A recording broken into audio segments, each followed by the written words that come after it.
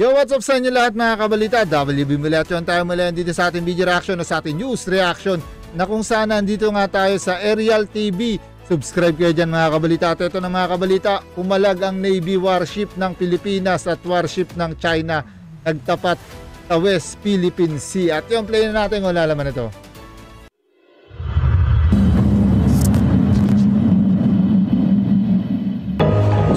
Chinese Naval Warship 621. This is Philippine Navy Warship Lima Sierra 507.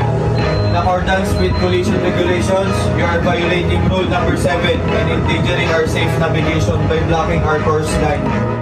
Magandang araw mga ka-aerial defense. May ibabahagi na naman ako sa inyo dahil ngayong araw na ito ay may bagay tayong pag-uusapan, warship ng Pilipinas at warship ng China nagtapat sa West Philippine Sea, pero bago tayo magpatuloy wag mo muna kalimutan mag-like, share, and subscribe, paki-follow at like muna ng aming page na nasa description na ang link, ibinahagi ng Philippine Navy ang nakakabahalang pagmaneobra ng barko ng People's Liberation Army Navy ng China Ship sa loob ng nasasakupan ng Pag-asa Island. Si Peña. Distance. Chinese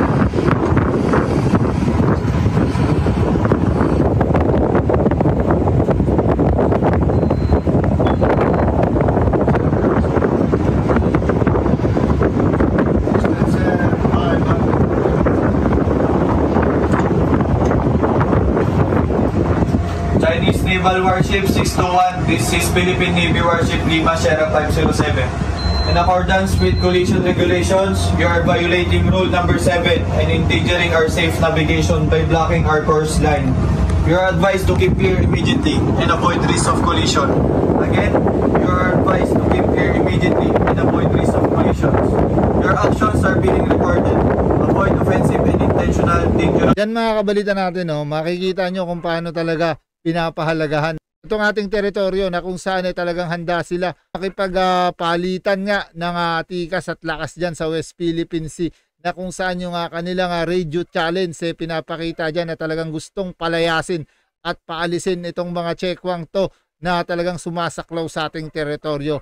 Na dito nga ay tama lamang na gawin ng ating mga hukbo o ating mga taga o ating mga tagabantay dagat dyan na talagang palayasin at paalisin yung mga chekwang yan no sapagkat nga eh talagang uh, nilalabag nila yung batas na talagang eh dapat na hindi sila manghimasok sa ating teritoryo. At ito nga na talagang eh tuluyan nila itong uh, niraradyohan na umalis at talagang uh, kung hindi umalis eh talagang eh, ito ang gagawin ng ating uh, mga taga bantay dagat o hukbo eh maaari silang uh, makatikim ng hindi maganda syempre sa ating uh, barko no mga kabalita natin na kung saan pinapakita lamang syempre yung kahandaan at syempre lakas ng Pilipinas no para itaboy itong mga chekwang to sa ating teritoryo. At yon tuloy pa natin. maneuvers. Over.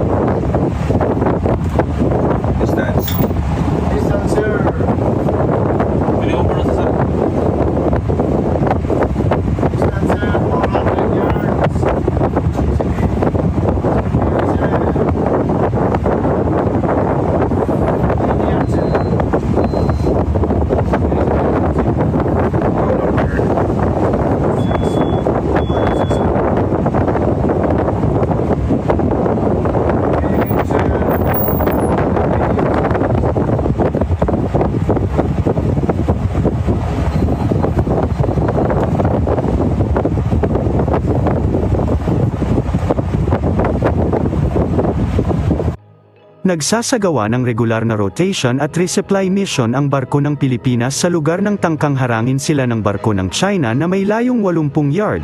Ayon sa Philippine Navy na malinaw na paglabag sa collision regulations ang ginawa ng barko ng China ang BRP Benguet ng Philippine Navy ay nagbabala at naglabas ng magkakasunod na hamon sa radyo sa isang barko ng Chinese People's Liberation Army Navy PLN 621 sa timog kanluran ng Pag-asa Island noong October 13 Ayon sa Armed Forces of the Philippines, ang sasakyang pandagat ng China ay iniulat na sinundan ng BRP Benguet sa layo na 80 yarda at sinubukang tumawid sa busog nito na may pinakamalapit na closest point na 350 yarda, Nangyari ang insidente sa pagitan ng 1.40pm hanggang 5pm, ayon kay AFP Public Affairs Office Chief Lieutenant Colonel Enrico Hill Eleto, sinabi ng AFP na ang BRP Benguet ay patungo sa Rizal Reef Station para sa pagsasagawa ng regular na rotation and resupply o RORE mission nang mangyari ang insidente.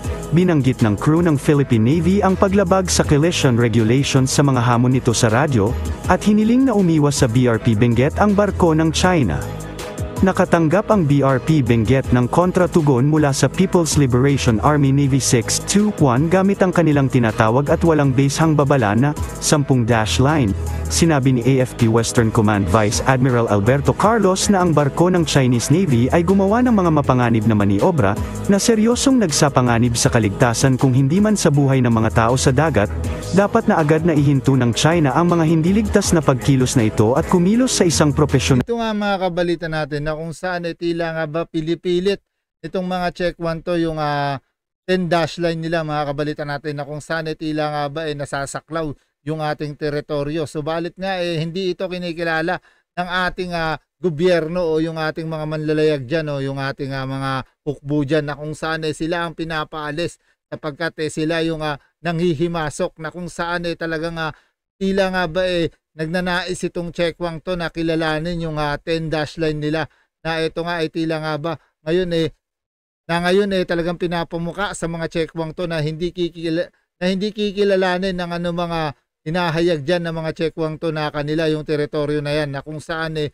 yung paninindigan na talagang yung ah, pagnanais ng ating mga barko na maprotektahan yan eh pinapakita dito sa mga checkwang to na kung saan eh sila ya pinapalayo at pinapalis nga sa daraanan natin mga kabalita natin sapagkat nga ay handa talagang ipagtanggol ng ating mga hukbo yung ating teritoryo at hindi ito papayag na makuha nitong mga checkwang to kaya sila ang dapat lumayas at umalis sa kanilang kiniklim na 10 dash line nila. Na dito nga eh, tila nga ba pinapakita lamang ng ating mga hukbo na isaksak nila sa baga nila yung ah, 10 dash line nila dyan sa West Philippine Sea. At yun, tuloy pa natin. Na paraan sa pamamagitan ng pagsunod sa internasyonal na batas, sabi ni Carlos, mariing hinihimok ni General Romeo Bronner Jr., Chief of Staff ng AFP, ang China na itigil na ang mga mapanganib na maniobra at agresibong aksyon sa mga sasakyang pandagat ng Pilipinas, nananatiling nakatuon ng AFP sa pagtiyak ng kaligtasan ng mga tauhan nito sa panahon ng mga misyon ng rotation and resupply, at iginiit na patuloy itong susunod sa mga tuntuning nakabatay sa internasyonal na kaayusan, sabi ni Bronner, patuloy na nananawagan ang Pilipinas sa China na itigil agad ang mga ilegal na aktibidad nito sa mga maritime zone ng bansa, sinabi ng AFP. Sinabi naman ni Department of National Defense na katawa-tawa ang ginagawa ng China na propaganda tungkol sa issue sa West Philippine Sea. Kasi matigas talaga yung China, no? they called us provocative. All our efforts to resupply provocative and violation of their sovereignty. Um, paano yun? How will that affect in any way yung operations natin doon? To include yung mga joint sales natin with our allies. Walang epekto to sa operations natin at uh, kung tatawagin po tayong provocative, ang provocative kung doon tayo magpatrol sa 200 nautical mile exclusive economic zone nila o mangisda tayo doon. Sila ang nangihimasok dito. So, paano tayo magpro-provoke sa kanila? Mukhang katawa-tawa naman yung mga statement na ganyan. At sila na lang naniniwala sa propaganda nila, lalo tayong hindi nakakapaniwala sa mga ganyang mga salita it's it, it, it leaves us uh, it leaves us really doubting uh, where they Dito mga kabalita natin na kung saan ganyang katapang ang ating ah, Secretary Gibo na kung saan yung ah, kanyang mga pahayag laban dito sa mga checkwang to eh real talk talaga at kung saan eh sinasabi nga eh katawa-tawa na lamang yung hakbang o galawan nitong mga checkwang to na walang kwenta yung kanilang uh, kiniklaim dyan sa West Philippine Sea at tila nga ba eh gumagawa lamang ito talaga ng ah, sarili nilang taktika o paraan upang masabi nila na kanila yung teritoryo na yan. Na talagang eh, makikita nyo yung pagkatuso at pagkagahaman at yung pagnanais na makuha yung sarili nating teritoryo at mga hinayupak talaga ng mga kabalita natin. At yun, tuloy pa natin. Are coming from and what kind of sincerity they are proving to the Filipino people with these kinds of statements. Habang ang Filipino fishing boat Dairy na nabangga ng isang foreign oil tanker malapit sa Baho de Masinloc Shoal, na kumitil sa buhay ng tatlong Pilipinong mangingisda, matagumpay nang na-retrieve ng Philippine Coast Guard,